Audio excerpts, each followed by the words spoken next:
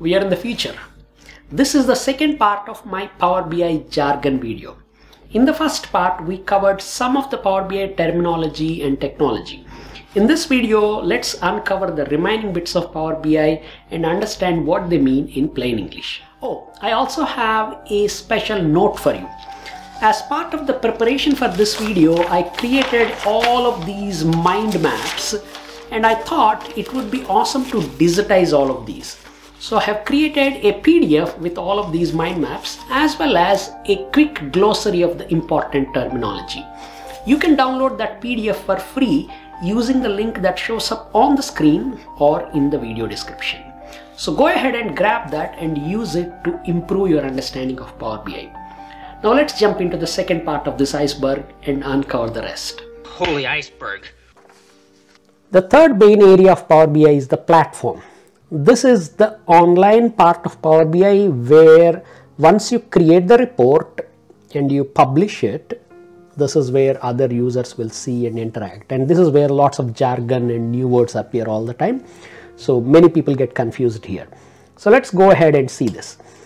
In the case of our awesome chocolates example, let's say you are the analyst, the stickman here, and you created a report in Power BI and for this you got your data from uh, your CRM system, uh, another data from the shipment system, collected this data in Power Query, you calculated things and you built this report. Once this report is done, you're not writing this report or creating this so you could read it. You are making this so that your CEO, CXO, CFO and managers can see this. So you publish this into a cloud system called Power BI service or platform and you publish this there. When you publish it, it will create an online version of that report that can be seen by all of these other individuals based on the permissions that you set. So if you say this can be seen by only these three people, then this person cannot see. Or if you say this can be seen by everybody, then all of them can see it. So that's where the service aspect comes in. So one way of thinking about this is there is a producer, which is usually the case for most of us. We are the ones that are producing stuff. And then there is a consumer who are the ones that are reading. And consumers are the ones that mostly interact with the service, but also there are some things that you need to do in the service as well. So let me explain some of the key jargon or terms. The first one being service or platform this is nothing but the online aspect of Power BI. Usually it is the powerbi.com or whatever that website is where you will do that. A newer word that Microsoft is now using uh, is called Fabric. This is kind of like a much more capable and more integrated solution for the Power BI offerings. So apart from Power BI and Power BI service, there are many other things that you need to worry about in the organization and all of those are kind of integrated into one offering called Fabric.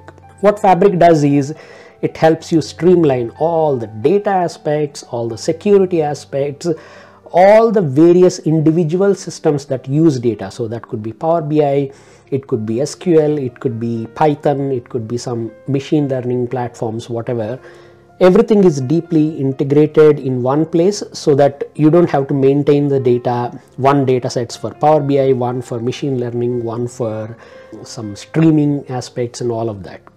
So that's what fabric is. I've got another video that explains what fabric is in plain english words. Do check that out if you want to know more about that. Then the next thing that you might hear is rls or row level security. What this does is let's say you have created this report and now you have see, given this to all these four people through the service. While they are reading you don't want the for example these are line managers for various product categories. So you have got one person that is responsible for chocolate bars one person that is responsible for cookies and one person for something else. You don't want the chocolate bars managers to know what is happening in the cookie business. Likewise you don't want this guy to know what is happening elsewhere. So that is where row level security comes in. You can set up a security protocol and rules that say that this person can only see this kind of data, this person can only see this kind of data. Then what happens is same report will appear differently for each of them. If you think carefully what RLS or row level security is doing is behind scenes it is adding another layer of filtering or slicing. Then another word that you hear is sharing, publishing.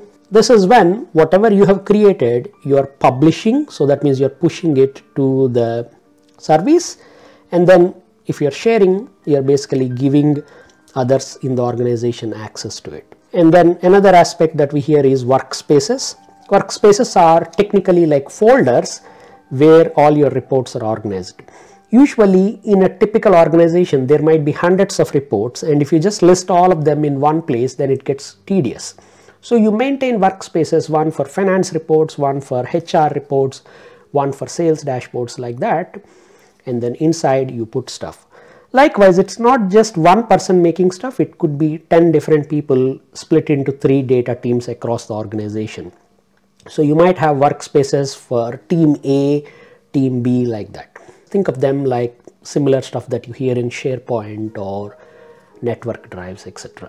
Then you have got scheduled refresh as well as refresh.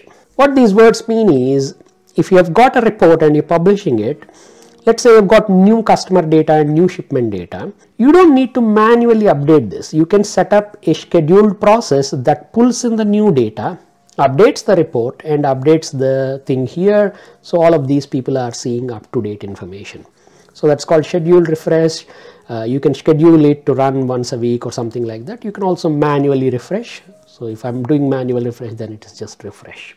Users, users are the people who are using the service. So it is you as well as all of these people and then you have got plans what kind of plan that you have for Power BI Power BI is a paid service. Uh, there is free version just you could use on your own computer but essentially if you're using it like this you have to pay. So then there are different kinds of plans. Uh, mainly you have got pro and then you have got premium. And then further uh, variations of premium are there. And if you are also using fabric then it kind of gets integrated into that and you've got separate things that that will be there as a plan. So those are the main technical concepts and jargon in the platform side of Power BI and with this we have covered a majority of the things. So we have covered the data platform and reporting. Everything else is really simple stuff. I'm going to quickly go through them as well. Let's start our concepts with the general data stuff. Apart from all the data stuff that you have already heard, there are many other data concepts and jargon that you need to know in the inside Power BI and I've categorized them into this general area. One is data engineering. This is where rather than just connect to a data set and bring the data, you will set up a defined process that goes to various data places, connect, collects them, transforms them in an ordered and organized manner and then pushes them downstream. So all of this process is called data engineering. There is a subword that we use within this called ETL that is extract the data, transform the data and load the data. Now Power BI offers a solution called data flows which is nothing but an ETL process wherein you are extracting the data, you are applying Power Query steps on top of the data and then you are loading that data so that the data is available for anybody to either directly analyze or build Power BI reports or use it as part of solutions. You might also hear a word called pipelines. I know that looks fun, but not those kind of pipelines. Pipelines is nothing but the stuff that is happening inside data engineering. So for example, you might have a pipeline from your CRM system to your sales dashboards. So the process of taking the CRM data and then doing something something on top of it and moving it there so the dashboard can happen this thing is nothing but a pipeline. Even though this sounds like a technical thing, essentially if you are just connecting to an Excel file and removing few columns and splitting the first name in Power Query, you are doing a pipeline. But you just don't call it, you just call it as Power Query. Whereas if you're doing it against large systems and lots of data and all of that, then this fancy word is used. You might also hear another word called real-time data or streaming data. What this means is you are connecting to data as it is happening. So for example, if you want to create a live chocolate shipment dashboard that just updates as and when we ship another box of chocolates, you might connect to a real-time data source. Uh, this data source is capable of streaming the data. That means as it happens, it will push new data out into the either data flow or pipeline and then that pipeline will update and then finally you'll have output here. The next word is notebooks. These are where some of your code might stay that does some of the processing either for data engineering or even data science or other things. So notebooks is a fancy word for code basically. And within this code itself you might have R, Python or other kinds of languages where the code might stay even SQL for example essentially whatever you're writing you would structure that into notebooks and the notebooks are then executed as part of either the ETL process or real-time process or something else. Let's go to the next one. And that brings us to the last main area of Power BI, the Power Tools, AI and cloud related jargon. I put everything into one page so that we can cover everything in one go.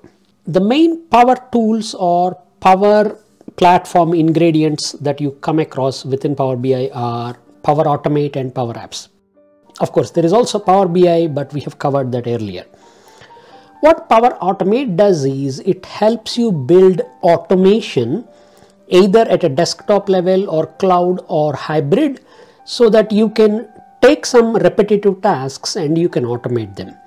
For example, in our chocolate company, sometimes a customer emails us a PDF order form and we would like to take that order data, extract information from the PDF and automatically put it into our ordering system. So here we have got this stickman customer. He sends us a PDF to a secure inbox. So this comes in as an email to us and as and when that email comes, we want to automatically read the contents of that PDF and put that into our database.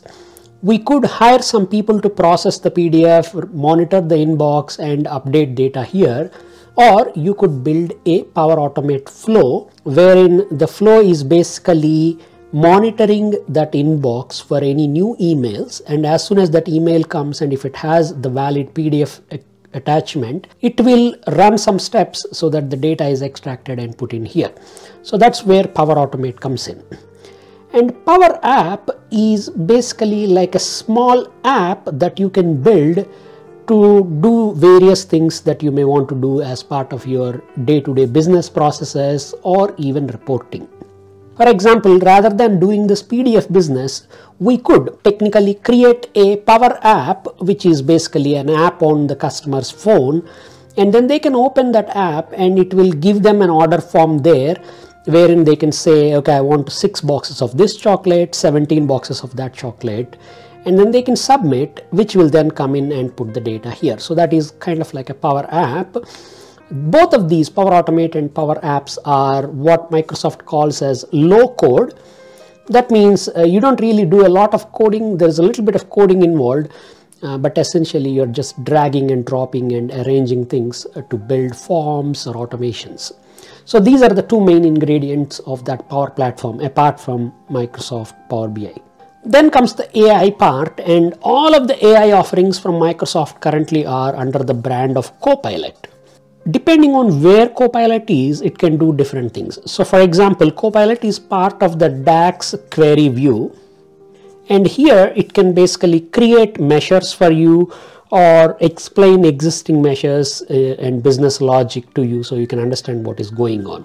The same Copilot when it is in at a report layer it can create a whole report for you or make different graphs or explain things that are going on in your data. So for example, you might be looking at shipment trends and suddenly there is a big jump in shipments. You could ask Microsoft Power BI what is going on here and internally, well technically Copilot is not used, it uses different algorithms but you know they all kind of come into that AI offering there uh, where it can explain those things to you. So Copilot has different flavors and different variations and you will need to enable certain features at the service level so that it is available to the individual users who are working in Power BI. Apart from Copilot, there are also some other AI features that are baked into Power BI. Uh, one of my favorite is AI visuals. These are special kinds of visuals or graphs that use artificial intelligence, uh, machine learning algorithms to understand and explain your data better. For example, uh, there is a visual called key influencers and what that does is it looks at an, a metric or information and then it understands what is influencing that. For example, in our chocolates business, I want to understand what is impacting our profit margin, the key metric that we track. So let's say we have got 37% profit margin. I want to understand what is impacting that. I could use key influencers to explore profit margin and I can say, look at this from the dimension of my product, team, or geography, or something else like dates. And then key influencers can tell you these things or these combinations of things are impacting your profitability. Another area of technologies or jargon that you come across are the cloud technologies. Again, this all depends on how you're implementing Power BI, what cloud platforms you're using.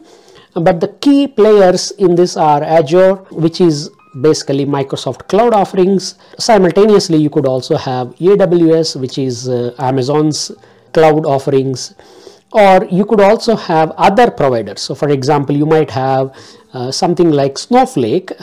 Don't confuse this with the Snowflake schema that we talked about. Snowflake is also the name of a company that offers cloud-based databases, warehouses and data lakes and stuff like that.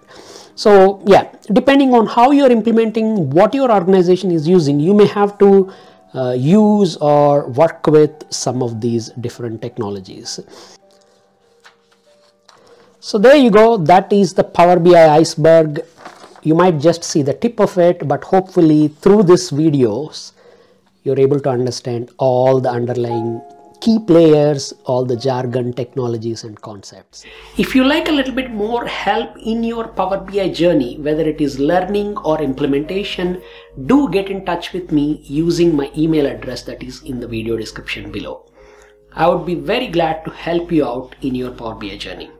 Thank you so much for watching and if you have enjoyed this, give it a like and share it with a few friends. I'll catch you in the next video. Bye.